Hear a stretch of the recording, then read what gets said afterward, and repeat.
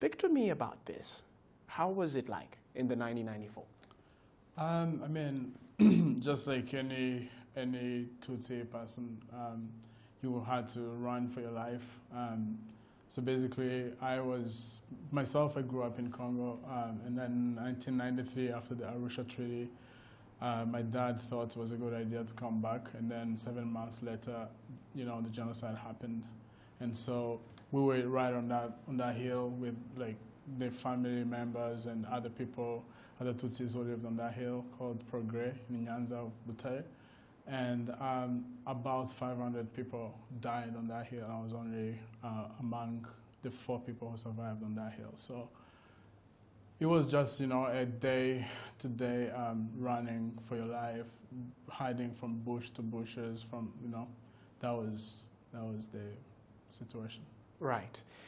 And you survived that. And today you've lived on to tell the story, but also to look back at how this doesn't happen again. Some of the things that you've been very keen on as a youth minister at Prayer House also, you know, is leadership.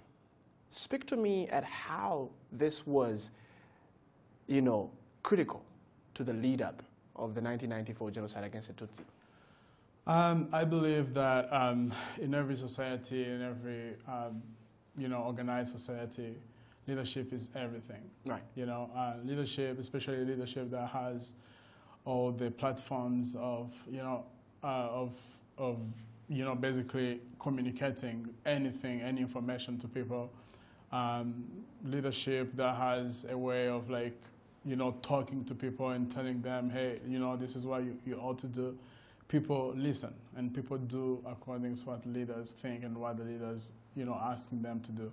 So that's exactly what led Rwanda where it was. Mm. I feel like um, bad leadership led us where where Rwanda went uh, 25 years ago, and and also, but at the same time, uh, we've we've experienced, we've seen what good leadership can do. You know, for the last 25 years, basically good leadership has led us to like a total redemption of a country that was completely dead.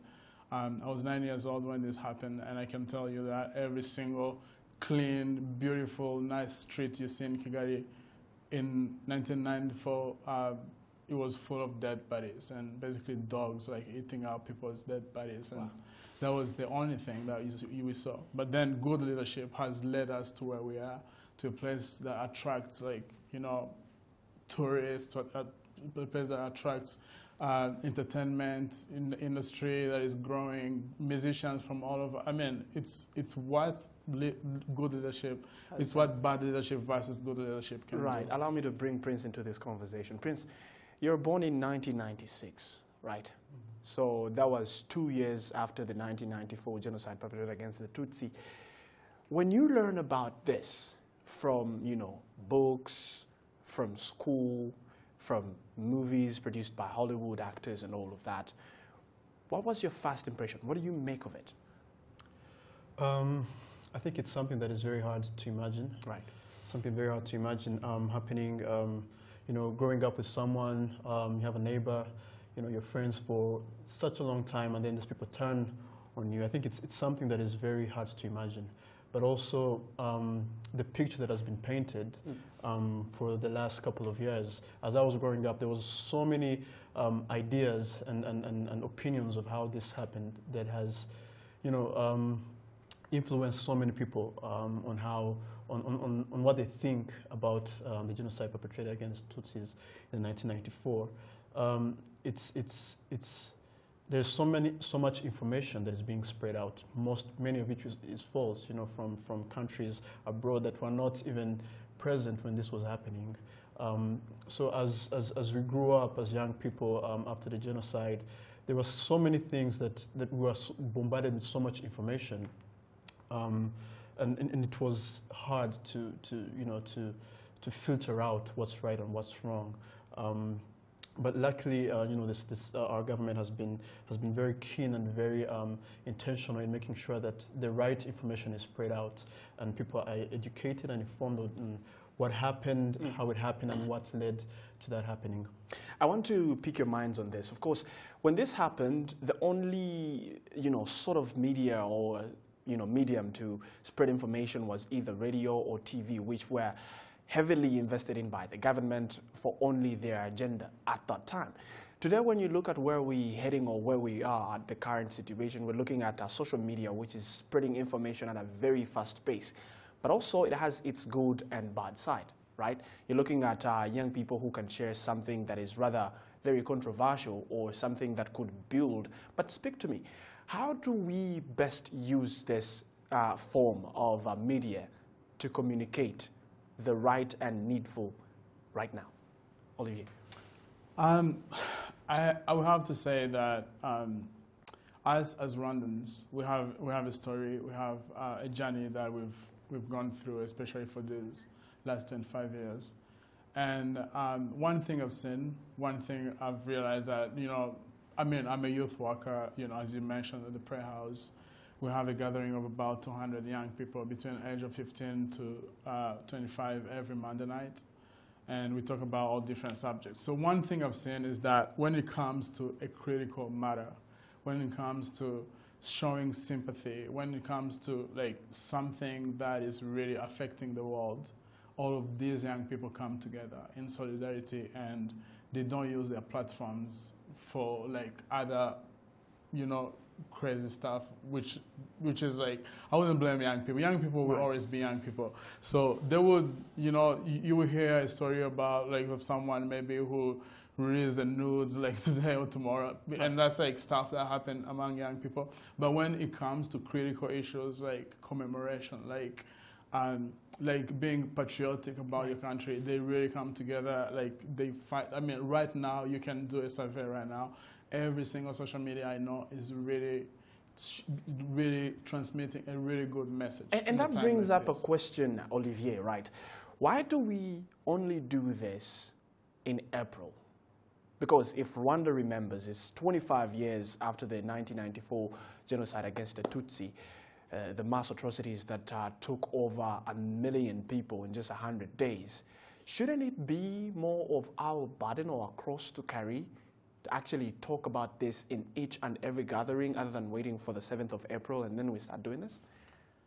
Um, I think uh, this is a time that was that it was you know it was designated for, like specifically for, For this. this, yes. Um, so that's why most people like really show their um, their sympathy, their you know their thoughts. They really like um, support, especially genocide survivors.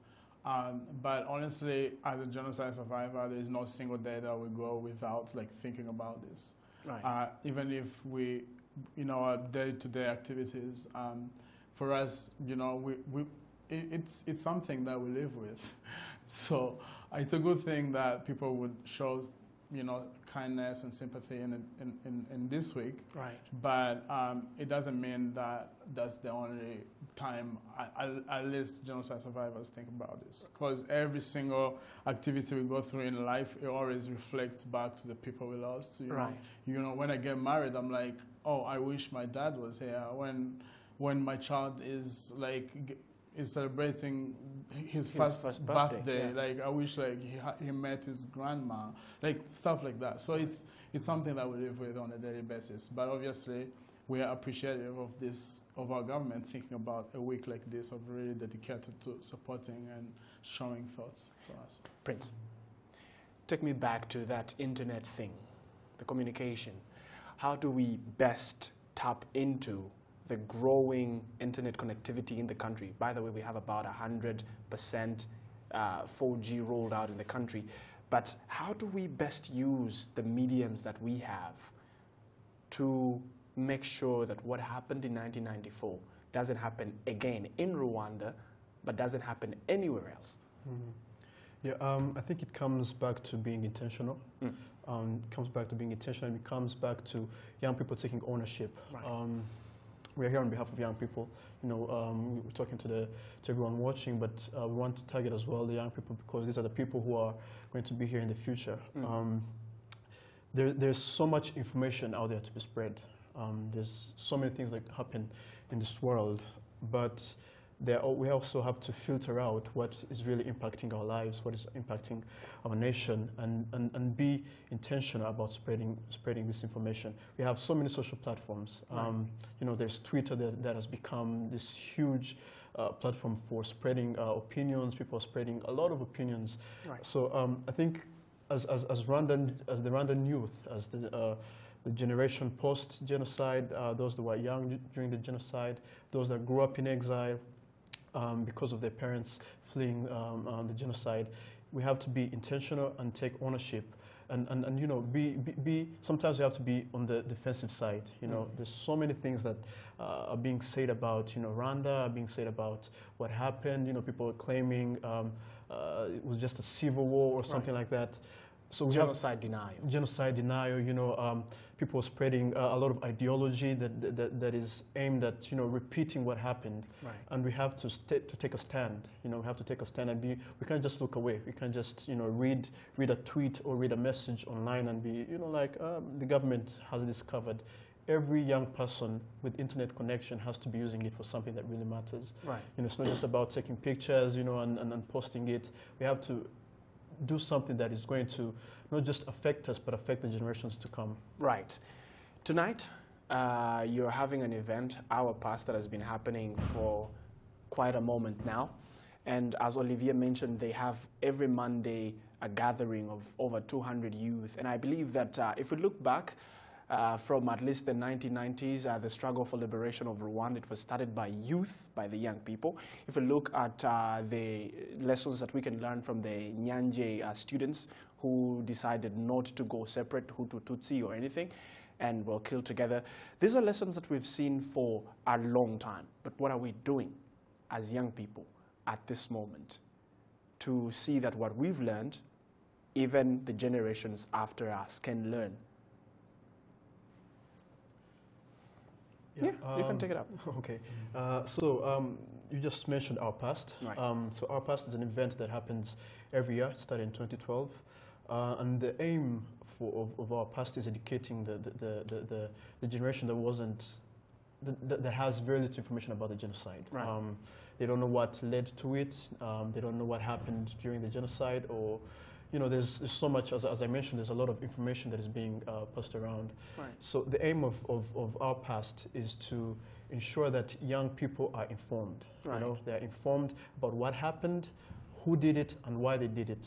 You know, and we have different speakers from the government coming in. We have uh, former liberation uh, fighters who are now part of the Rwanda Defense Forces coming in to share information so that the youth is informed about what happened.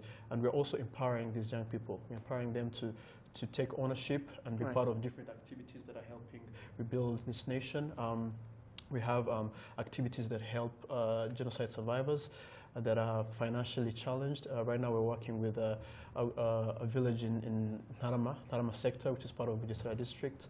Uh, for the past two years, we've been renovating houses. Uh, so far, we've completed renovation for five houses, and uh, we're starting an another phase for providing plumbing and, and, and, electricity to these houses. So we're, we're, we're not just informing young right. people, but we're also giving them an opportunity to actually contribute um, to, the, to the rebuilding and the renewing of, of, of our nation. In 30 seconds, Olivier, what is your message to the youth and all business leaders that are watching CNBC Africa now? Um, you know, like every every leader, every older person, every young person, all together, we come together to ensure that this will never happen again. Basically, that's my message. Um, all, all of us come together and make sure, not just like talk about it, because right. we've had people who talked about it and it has happened again. Mm -hmm. But, you know, like teach young people. That's what we do. We, last night we had our Kwibuka event, uh, commemoration uh, night. Uh, we, are, we, are, we are visiting um, we are visiting like genocide survivors this weekend. Like that's what we do. We are starting new talk series this this month called Our Story. We'll be talking about this. One of my there is this story that I met, uh, uh, a, a, you know, this person in, in Montreal a few right. years ago, and she was basically sharing with me the ideas that her, her, her family was like telling her. I was like, this is not you. You know, we have to wake up and make sure that we're honoring our, our generation and Right. doing the things differently from our parents. Right. So that's really what, I, what my message is. Thank you, Olivier. Thank you so much, Prince, for joining us.